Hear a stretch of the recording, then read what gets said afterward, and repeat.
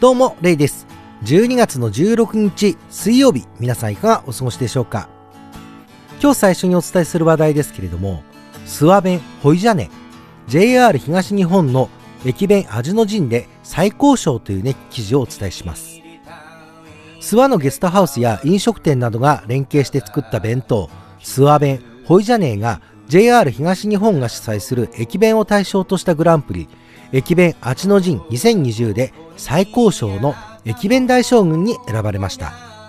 東北関東甲信越から応募があった65種類から消費者が味盛り付け掛け紙の3項目を4段階で評価し投票数を加味して決まりました。こちらのお弁当は上諏訪でゲストハウス畳を営む菊池千恵子さんが諏訪地域の観光を味で盛り上げようと発案。ラーメンチェーン店の天宝フーズやレストラン割烹泉屋が協力しました。野沢菜漬け入り揚げ餃子やワカサギの唐揚げ寒天など諏訪地方の名産品を彩り豊かに詰め合わせ紙包みや高島城や花火お見当たりをデザインして季節感を表現しました。菊池さんは思ってもみなかったので本当に嬉しい。夢のよう。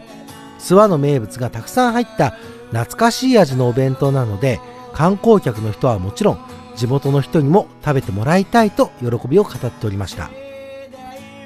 ちなみにこちらのお弁当ですけれども JR 上諏訪駅構内のコンビニエンスストアやレストラン割烹泉屋で販売しております。価格は税込みで1080円ということです。以前に諏訪弁ホイジャネっていうね話題を取り上げさせていただいたんですけれどもその時には JR 東日本が主催する駅弁味の陣2020にエントリーしましたっていう話題をお伝えしました。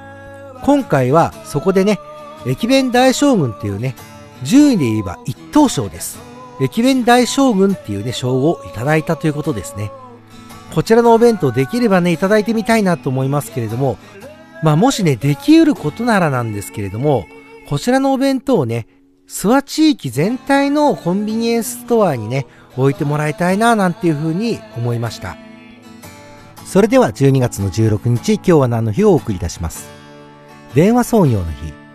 1890年のこの日。東京市内と横浜市内の間で日本初の電話事業が開始しました。加入電話は東京155台横浜44台で女子7名夜間専門の男子2名の交換手が対応したということです。当時の電話というのは交換手という人を通じて相手を呼び出すというね方式が取られていたっていうことですけれどもその後に固定電話というものが普及しまして全て自動化されてきましたね。そして現在では携帯電話が普及して固定電話の数もねかなり減ってきているのではないかなっていうふうに思います。それでは次です。紙の記念日1875年のこの日東京王子の少子会社の工場で営業運転を開始しました。少子会社は起業家渋沢栄一が大蔵省紙幣業から民間企業として独立させたもので王子製紙の前身となりましたということです。この渋沢栄一氏が2024年の新紙幣ではね、新しい一万円札の顔になりますね。紙媒体のお金というもののね、まさに象徴的な存在ではないかなっていうふうに感じました。それでは次です。念仏口止め。念仏を唱えない最初の日。正月の神様、年神様は念仏が嫌いということから、この日から1月16日の念仏の口開けまでは念仏を唱えないとされています。仏様は仏教、年神様は神道の神様。日付は地方によって多少異なります。また、現在ではあまり行われていない行事であるということです。それでは次です。フリーランスの日。東京都渋谷に本社を置く日本初のフリーランスの支援を行うプラットフォーム、クラウドソーシングサービスランサーズを運営するランサーズ株式会社が制定。日付は同社がスタートした2008年12月16日から来ているそうです。フリーランスの仕事のマッチングだけではなく、フリーランスのスキルアップのためのプログラムの提供などを行い、次世代のワークスタイルであるフリーランスの人に個々の力を高めてもらうことが目的ということです。このフリーランスについてなんですけれども特定の企業や団体組織に専従しておらず自らの技能を提供することにより社会的に独立した個人事業主もしくは個人企業法人であります日本では自由業自由職業フリーランスと呼ばれます。請け負った業務を実際に遂行する本人はフリーランサーフリーエージェントと呼ばれます。単発の仕事として様々な仕事はするものの、その仕事を引き受ける都度契約を結ぶという形態を取る請負であり、小説家、芸能人など個人の能力によって成果が決まる職種が多いが、大工やプログラマーなどの技術者、漁師などのような古典的な職業も存在します。英語フリーランスの語源は中世に遡りまして中世は王や貴族は主力となる騎士を中心とした府県軍の補強として戦争のたびに傭兵団フリーカンパニーと契約して戦争に挑みましたこの中には正式に叙勲されていない騎士黒騎士や傭兵団を離れ戦場に挑む兵士がいたそうです当時は操作兵これ槍騎兵とも読むんですが自分の重卒として歩兵や弓兵を連れている形態が多かったため契約の際には槍の本数イコール1戦闘単位としてカウントされました。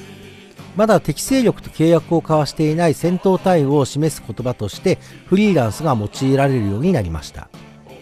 当時は兵士を指していたフリーランスが近世以降組織を離れて働く状態を示す言葉に変化しました。フリーランスのフリーは拘束されないという意味で無償の労働者という意味ではありません。日本では略してフリーと呼ばれることもあるということです。現在ねフリーランスをね目指す方っていうのは非常に多いですし先日もねニュースの中で電通さんですかねこれがフリーランスっていうね雇用形態を取るっていうような話もありました。